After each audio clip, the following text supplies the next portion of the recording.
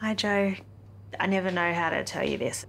Just try to listen. I'm going to explain everything, okay? Hey, beautiful. Sleep. Is it? What are you doing? Well, it's late, isn't it? We should probably go to bed. Yeah. Good morning. Good morning to you. Sarah? Take the pill. What happened? You're different. Mm-hmm. I'm your partner. I love you. You've got a form of amnesia from when you were ill two years ago. How long have we been doing this? Nearly 15 years. Why? He's really struggling. You can't see a broken brain. My partner can't be near me anymore. Bring her in, Toni. No.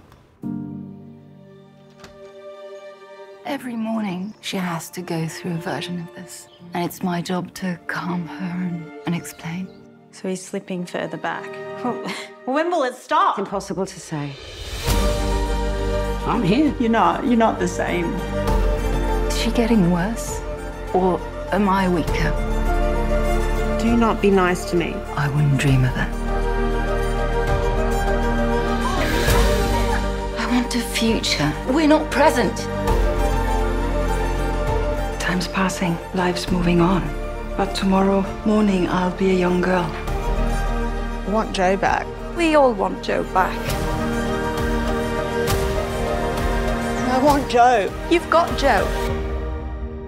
It all comes down to the almond and the seahorse. The amygdala and the hippocampus, they are necessary for the making of new memories.